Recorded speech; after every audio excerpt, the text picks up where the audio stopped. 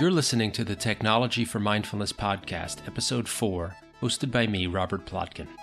Today I'm going to be speaking with Dr. Susan Maushart, a broadcaster and communication consultant, and the author of five books, including the topic of today's podcast, The Winter of Our Disconnect How Three Totally Wired Teenagers and a Mother Who Slept with Her iPhone pulled the plug on their technology and lived to tell the tale. Dr. Maushart's books have been published in over a dozen languages as an independent producer, her popular radio series, Multiple Choice and Storycatcher, have been heard across Australia on ABC Radio and across the world on iTunes and the web. She has appeared as a commentator on The Today Show, Lateline, CNN, Fox and Friends, and in publications ranging from Family Circle and Parents to The Huffington Post and The Guardian. Susan's lifestyle column in the Weekend Australian magazine ran weekly for a legendary 12 years and she has lectured in media at NYU, Fordham, and Curtin University of Technology. We are extremely pleased to welcome Dr. Susan Maushart to the Technology for Mindfulness podcast.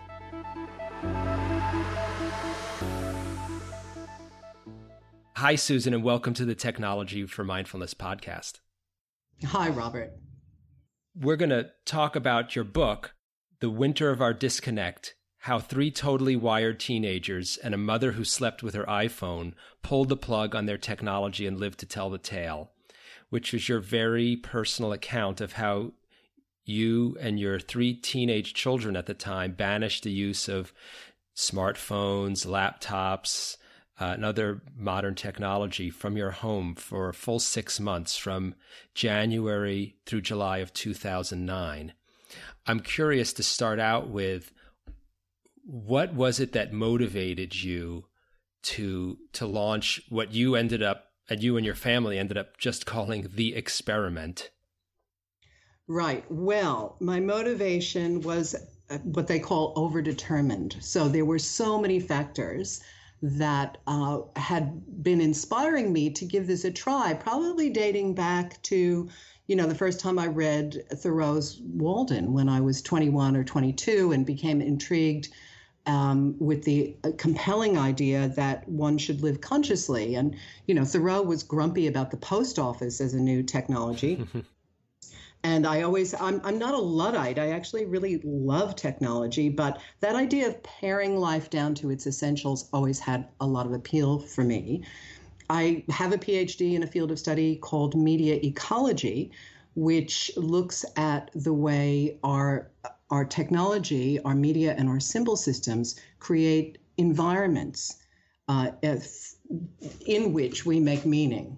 So I, you know, kind of know a lot and have a very raised consciousness about the impact of media of all kinds on the way human beings interact, on the, you know, the values that we have, on our cognitive habits of mind. Um, you know, just about every aspect of our lives is um, in some way influenced by the media environment that we inhabit. So, so there was that, and then there was the fact that in the intervening years since getting that PhD, when I was, you know, young and childless, acquiring three children, mm-hmm. and and doing so at a point in our sort of socio-technological history when we'd moved into a digital age. And so when I was sort of doing my study, it, television was the medium that people were talking about and questioning and maybe nervous about.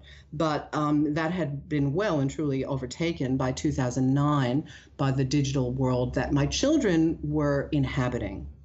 So even as quite young teenagers, you know, their lives were increasingly uh, bound up, and this will come as no surprise to anybody in 2017, but in you know in 2009 it was sort of MySpace and um, you know eBay was new and YouTube and you know so this business of migrating to a screen uh, was was brand new and my kids enthusiastically jumped on board. Yeah, it really struck me reading that, as you said, you're not a luddite. You seemed like a, as a writer, a pretty heavy technology user. Uh, think the iPhone was only about a year old uh, when when you embarked on the experiment and you seemed like you were pretty heavy iPhone user and your kids were in their teens, right? 14 through 18 at the time. That's right. That's right. Yeah. Like, and I was, you know, i'm putting the emphasis on my kids and their heavy technology use. Look, I was the leader of the band. Um. I am a, a, nerd. I, I love gadgets. I love sort of problem solving technologically. And so I was completely on board. In, in Australia, I was, you know, a very early adopter of the iPhone, and it changed my life. And I grasped immediately as I did actually the first time I stumbled onto what was then called the information superhighway, that is the internet, that it was going to it was going to change not only my life, but it was going to change the world. Um, and uh, you know, I got shivers down my spine uh, both times. When I uh, the first time I saw an iPhone was actually in New York City. I was back home on a trip, and a guy came into the lobby of the hotel I was in and I went over to him, and he was so excited about his device. And I was actually showing him how to use it because I'd read everything already online about this amazing technology. Mm. Yeah, you you talk about in the book, and you know you you engage in some self-deprecating humor, talking about catching yourself in the in the restroom on several devices at once, and but you know more seriously observing your children. Uh, attention being grabbed constantly, uh, as we know, not just by one device or one window or one screen, but by several simultaneously at that time already while they're doing homework.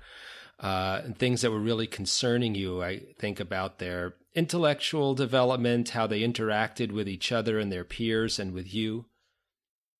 Yeah, well, absolutely, absolutely. The the impact that all of this was having on the quality or lack thereof of our relationships with one another as a family was was very striking to me.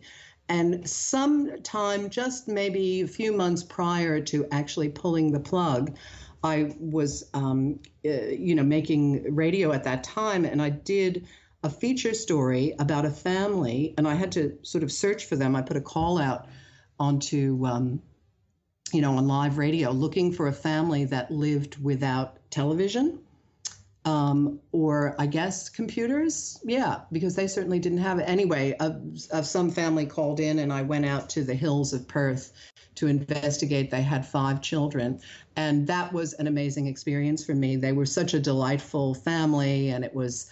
Uh, the kids were so curious and switched on and friendly and creative and I thought, wow, how I wished that I had done this. Like, why wasn't I brave enough to do this at the time?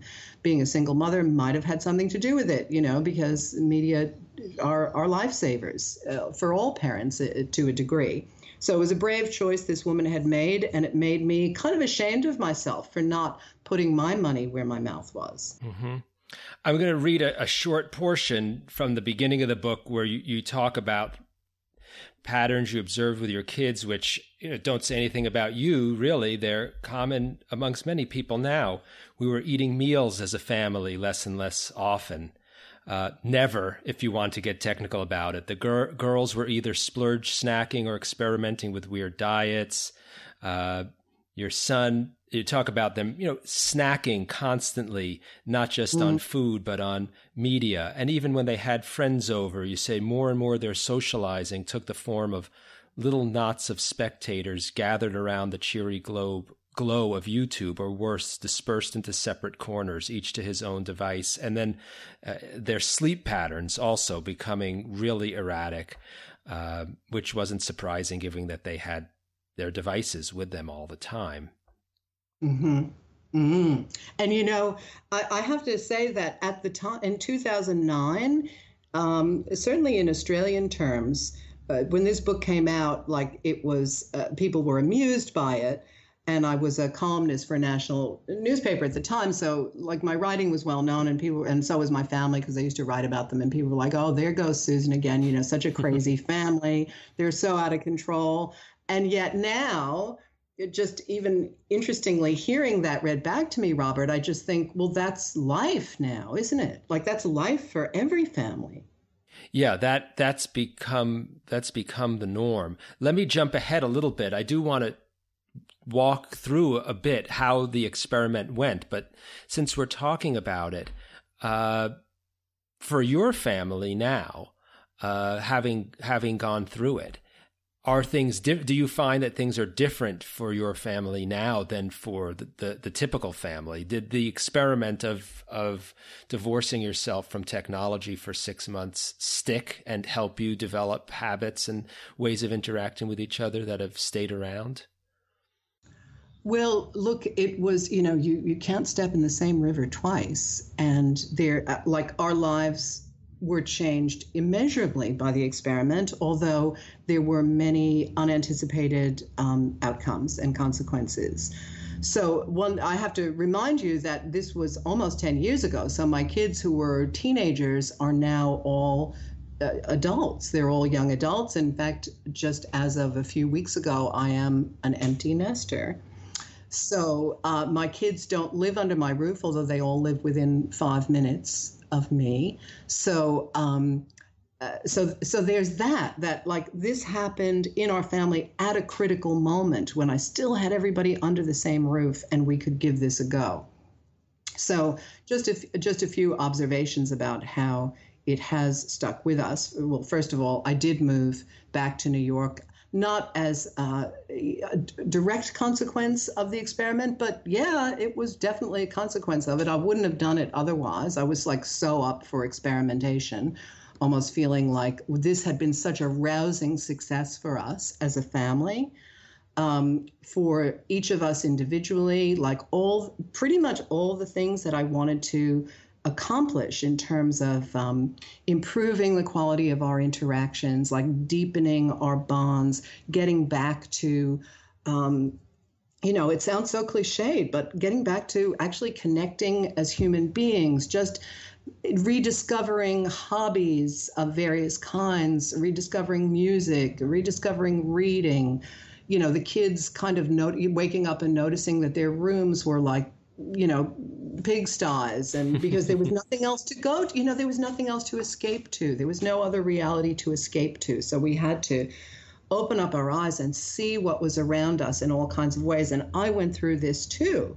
And it, it was, you know, it was a learning curve. Um, the business about the family meals, how, you know, that was something that I'd always sort of tried to enforce that we would at least sit down and have a meal together at a table. But while technology was in our lives, uh, people would just they would speed eat. You know, they would just like shovel their food down because there was always something better to get to. And when that was removed, it was quite fascinating because there was nothing better to get to. So people just stuck around.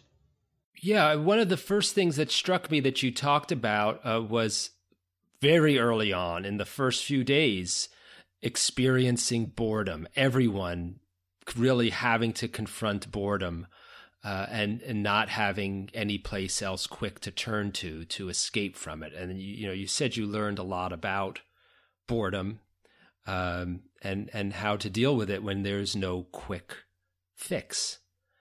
Yeah, the value of boredom. And in, indeed, a couple of years ago, I did, believe it or not, a four part radio series called Fun with Boredom for ABC Radio because, uh, and I was, you know, very much inclined to write an entire book about it, but I read a couple of them and they were boring. So I moved on from that.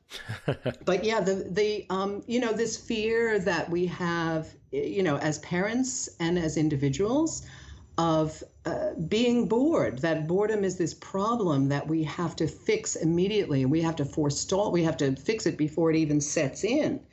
And that you know boredom busters for kids and you know kind of having this arsenal of pastimes and entertainments and ways of of distracting children's attention and indeed our own attention uh, because otherwise we might fall into this horrifying pit called boredom. But you know, sort of drilling down into the boredom literature, and there is a boredom literature, it um, very much um, uh, reinforced what we were experiencing, which was that boredom can be uh, certain kinds of boredom can provide a creative space, uh, you know, a place for daydreaming and um, letting your mind wander where it will. And that is, uh, you know, that's an experience that is sort of central, not just to people who are engaged in creative endeavors, but really, I think, to the human experience. Um, eh, that sort of reflective um, quality. I, I often refer to my need to just stare at a wall for several hours on the weekend. Um, you know, boredom has always been something that I kind of cherish. Like I, there's nothing like a good old boring day, and but it's you know it's hard to have that when you have your laptop or your iPad in your lap because you're going to be constantly you know consuming stuff and you're going to be off on somebody else's journey which is going to be like a probably a really seductive fascinating one i'm mm-hmm. still an information junkie but um, you know there's just such value to be had in having those, you know, empty stretches. Yeah, you you mention in the book that uh, parents had come to the point where they felt, and still is true, that they're actually responsible for just getting rid of their kids' boredom. And you said, I'm quoting, perhaps above all, throwing technology at their children's complaints about being bored. And you you mention also getting some negative feedback from parents, other parents, or perhaps friends or family members before you embarked on this and you told them you were going to do it. Uh, people thinking it might actually be irresponsible of you to do this for, for your children. Yes, that really shocked me. Um, uh, that was something I had not anticipated, but yes, I had several people say to me, How could you do that to your children? Why would you do that to your children? Or, um, Well, in our family, you see, you couldn't do that because you see, our children need the internet to do their homework. And I was just, you know, I never stopped rolling my eyes.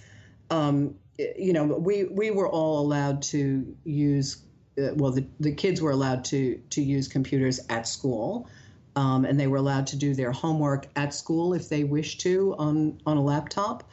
Um, so uh, you know there there wasn't like we were entirely cut off. It was our it was our family home that was the sacred space. So it seemed it seemed so unreasonable, almost like um, like people had been brainwashed into believing that life could not be lived, like kids could not live a life without the internet. I mean, that, that still blows my mind or that I would be doing them a disservice, that I would be um, disadvantaging them, when in my mind it was such a clear way of advantaging them.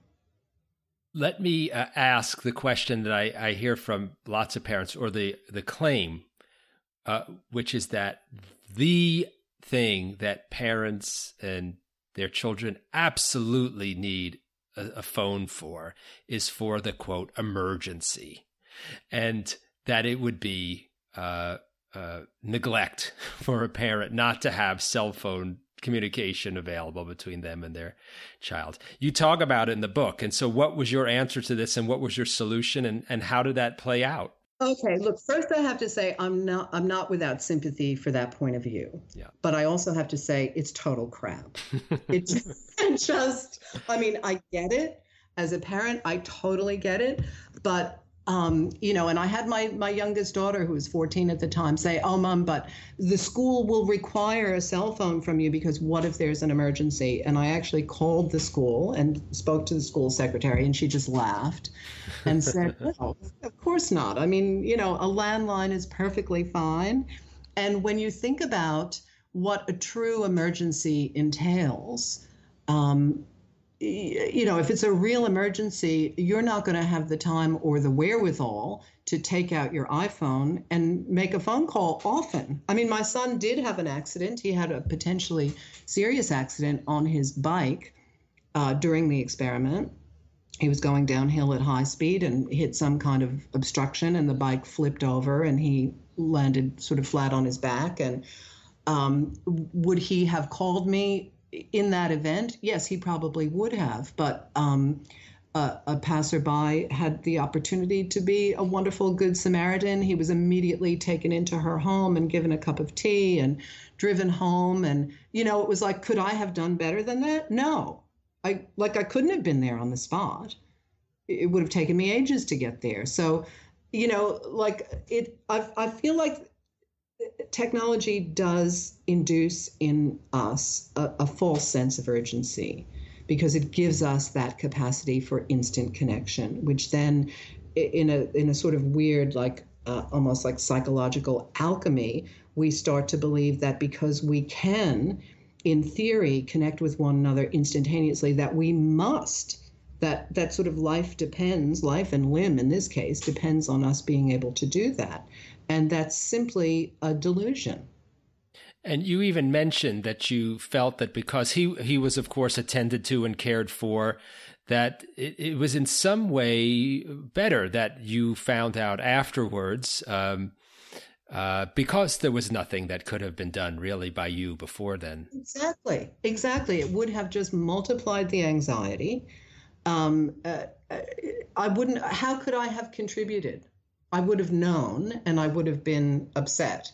And if if it had been actually serious, it would have been very very easy to find me you know, I was at home with a landline, or if I wasn't at home with a landline, I was at work with a landline, or if God forbid I was on the train for 10 minutes or 20 minutes, you know, there are neighbors, there's a community, there are other, you know, there are other responsible adults around. So it kind of like, it kind of increases the burden on parents in a way. Um, in a very direct way, really, to be the solely responsible person instead of kind of letting the village take a bit of responsibility as well.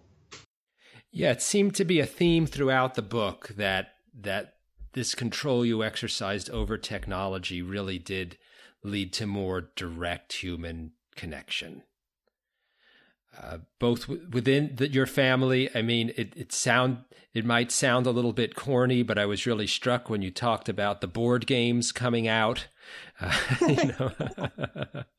what was really strange, Robert, was okay. So my kids were obviously, you know, they had to do something. So yeah, they were borrowing to the very bottom of their their closets and toy chests from from childhood. But what really struck me was that their friends wanted to come over and spend time in our technology free house because it was like, uh, well, A, it was a novelty, but B, uh, it was actually more fun. So it was more fun to sit around on the floor and, you know, play. They even played tiddlywinks. I mean, come on, tiddlywinks. Um, and you know have hot chocolate or we did a lot of baking because that's one thing you can do without high tech so there was always good food and you know, it was it was an eye opener for me to see kids like clamor to have a sleepover at our house mm. where they couldn't watch YouTubes and they couldn't watch TV and they couldn't Skype with each other and they couldn't SMS uh, and all that other stuff. So they they actually the, that others wanted to. I mean, my kids were being forced into it, but their friends weren't. So they they were actually attracted to it. Did your kids anticipate that happening or was this something that happened organically despite whatever their anticipations were? Yeah, no, they didn't anticipate it. And I have to say, though, that there were casualties in their social group, particularly for my youngest. She had a group of girlfriends who were very, very hooked in, even at that point. You know, they, uh, my first encounter with Skype was in Sussie's bedroom um, and I was so startled. I didn't even, you know, know this was a thing and just saw, you know, her girlfriend on a screen and she was talking to her. I was like, this shows you how long ago it was. I was like, wow, what's going on? So some of those friends did drift away because she wasn't participating in, um, you know, in the instant message world. That was the core of their friendship. And also the kind of spontaneous get togethers that could happen because people could text each other and so on. So she was out of that loop. So she did kind of migrate to a different friendship group, which was the kind of kids who would actually plan a sleepover. you know, seemed, uh, you know, it was like a whole different scene. And that's another thing planning a sleepover, like we now know that anticipation is a good part of the joy, that happiness, and the gratification that we get from pleasant events. Vacations, for example. You should, you know, you should plan ahead. You should have something to look forward to. Um, doing things on the spur of the moment is good too, but if all of life is just kind of improvised, then you kind of you you miss out on that quality of joy, that anticipatory joy, which is real.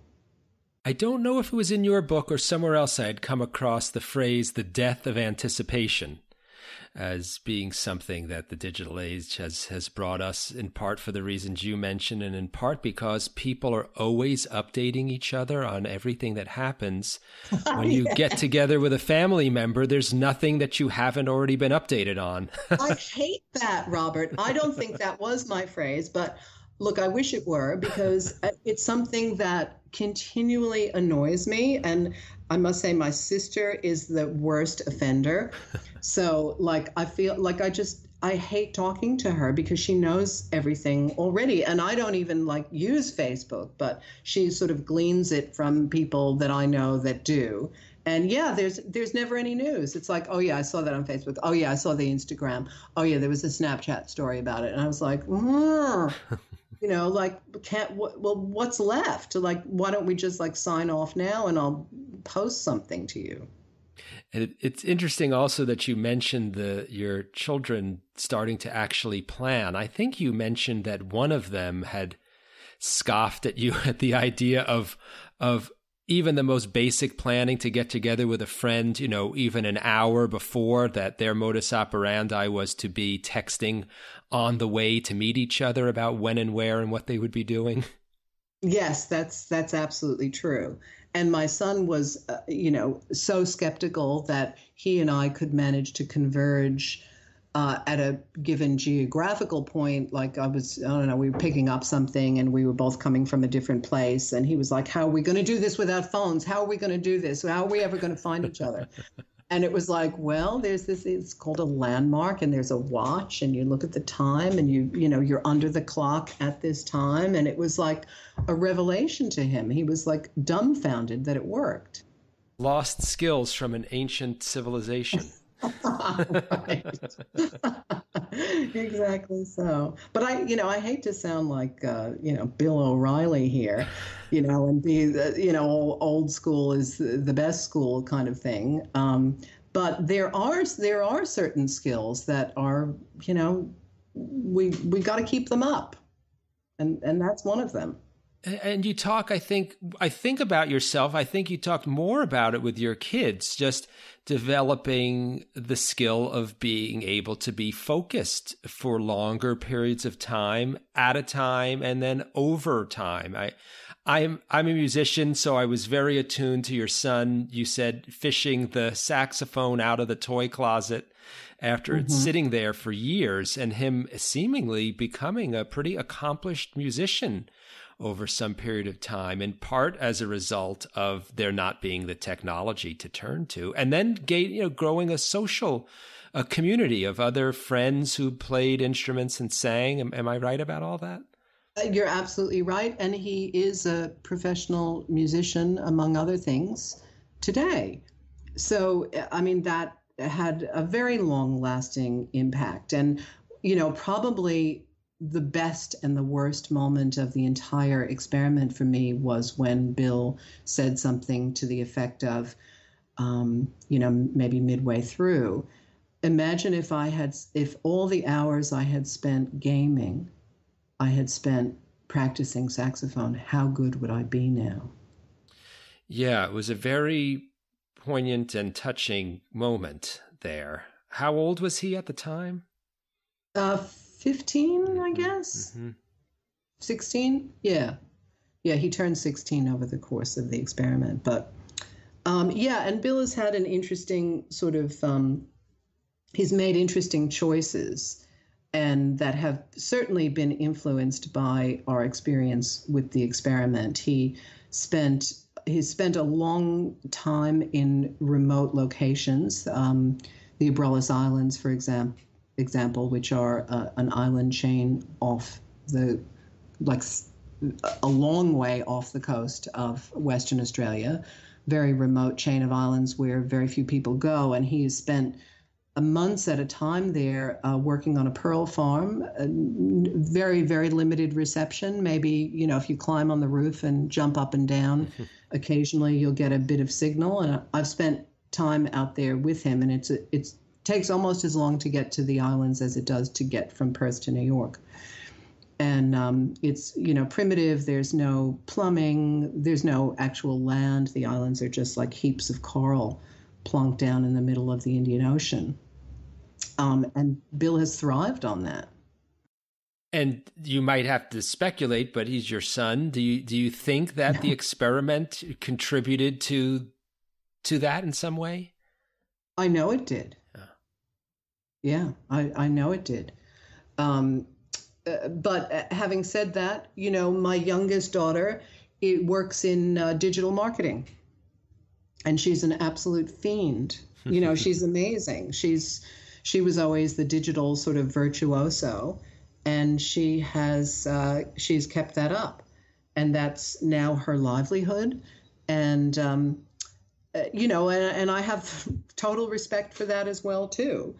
Um, she's she's the one though that had that struggled the most with the experiment, um, and it was therefore the biggest victory when she actually got with the program. Initially, she moved out to her dad's house, so just you know, in large part to avoid having to um, to to give up her technology. I still I still uh, you know worry that she is too connected, um, and sometimes like you know like on Easter, I was thinking, am I? And I discussed it with my older daughter Ani. Am I going to have to say to Sas, don't bring your phone into the dining room? Like, will I have to say that? And she was like, well, don't say that. Just let's let's see what happens. Um, and she didn't, and I was glad. But so you know, so I can't say, oh yes, like now Sussy, you know, she she leaves her phone at home. No, she's connected all the time. My and you know, and again, it's her livelihood. My eldest daughter Ani is uh, a journalist, and she uses the apps uh, both on her phone and on her computer that turn off the internet. You know, like uh, Freedom is one, and Moments, I think, is the one that she uses on her phone and she makes regular use of those um, because she knows that she needs to. And I think that's uh, that's pretty amazing. It's interesting that you mention uh, your youngest daughter as having had the most difficulty with it and giving the time of when this occurred. I hate to generalize, but have you wondered whether you did you conducted this experiment at sort of the last point when it could succeed, or uh, whether whether the next generation was going to become too hooked in in some way. Well, that's, that's interesting, Robert. That's a really interesting question. I'm tempted to say, you know, as we discussed before, that people told me that it was too late, that it couldn't, you know, like life had just moved in a direction such that it was not possible to conduct a meaningful life without technology. Um, so they said that in 2009. Um, now we say, well, it's it's very true that you know we are all so much more connected and so much more, um, you know, we, we inhabit a digital world to a much greater extent now. But I'm sorry, I don't think that we have passed a point in time where such an experiment is possible and would be a worthwhile and very gratifying thing to do. I mean, like who who would do it for 6 months unless they were writing a book about it? I don't know, like very probably very few people. Um, but to suggest that because the world we live in now is so much more saturated with digital media that therefore we couldn't live, um, you know, viable lives, let alone, you know, gratifying, contented, satisfying lives with without that media. No, I, I reject that. It, if you were to advise a family who wanted to do this experiment now, today in 2017, what advice would you give them? Yeah, look, I mean, I have advised people to just, you know, you don't have to do six months, just do a weekend. Um, it, it it, is difficult though because for the benefits to begin to emerge, which make the experiment kind of like um, self-confirming for children as well as for yourself. So it takes a bit of time for those benefits to reveal themselves.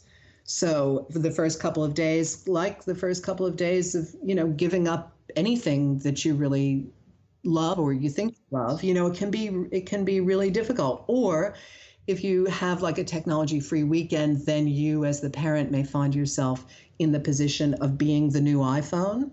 You know, like you have to you know you have to lay it all on you have to provide the entertainment and you have to you know make it into a big special event. We're going to the circus we're going to the beach you know and and then it turns into something else entirely.